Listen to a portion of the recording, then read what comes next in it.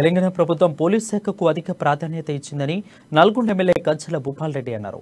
ఈ రోజు నల్గొండ జిల్లా కేంద్రంలో తెలంగాణ దశాబ్ది దశాబ్ది ఉత్సవాల భాగంగా పోలీస్ శాఖ ఆధ్వర్యంలో భారీ ర్యాలీ నిర్వహించారు. కార్యక్రమానికి ముఖ్య అతిథిగా ఎమ్మెల్యే కంచెల భూపాల్ రెడ్డి హాజరయ్యారు. ఈ సందర్భంగా ముఖ్యమంత్రి కేసీఆర్ పోలీస్ శాఖ అభివృద్ధి కోసం అనేక నిధులు కేటాయించారని నేరాలను అదుపుతల చేయడంలో పోలీస్ శాఖ ముందుందని ఎమ్మెల్యే కంచెల భూపాల్ రెడ్డి చెప్పారు.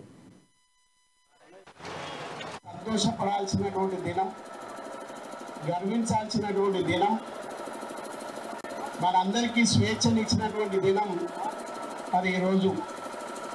తొమ్మిది సంవత్సరాలు కంప్లీట్ చేసుకొని పదిహేను సంవత్సరాలు పోతున్నటువంటి తరుణంలో మరి పోలీస్ శాఖ కూడా భారీ ఎత్తున ఈరోజు ఉదయంలో మరి ఈ యొక్క కార్యక్రమం కానీ మరి సాయంత్రం జిల్లా మంత్రి జగదీశ్వర్ రెడ్డి గారి నాయకత్వంలో పోలీస్ ఆత్మీయ సమావేశం కూడా మరి ఉంటుంది.